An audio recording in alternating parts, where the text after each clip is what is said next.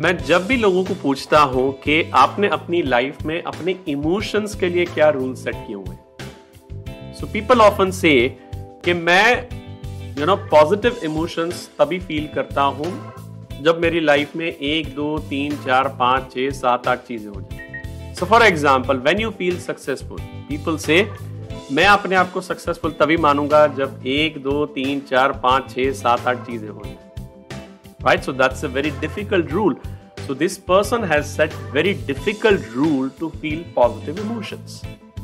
अच्छा उसी को मैं अगर पूछता हूँ कि आप अपने आप को अपसेट कब मानते हो? और when do you get upset so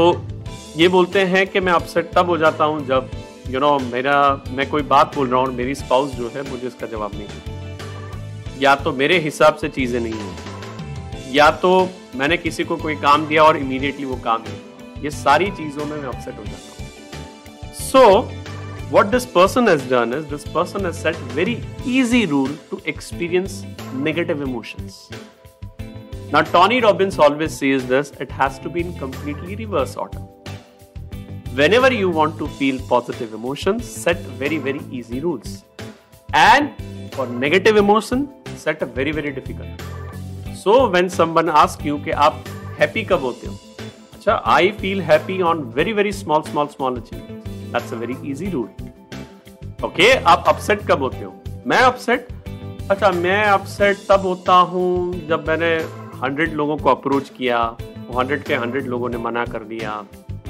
right उसके बाद बाकी के हंड्रेड लोगों को मैंने अप्रोच किया, उन लोगों ने भी मना कर दिया।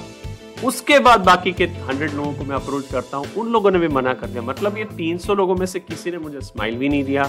किसी ने मुझे रिस्पॉन्ड भी नहीं किया, किसी ने कुछ भी नहीं किया तो मैं अपने आप को अपसेट मान which means you have set a very difficult rule to experience negative emotions think about it and let me know कि आपने अपनी लाइफ में अपने इमोशंस के लिए इजी रूल सेट किए हुए हैं या डिफ़िकल्ट रूल सेट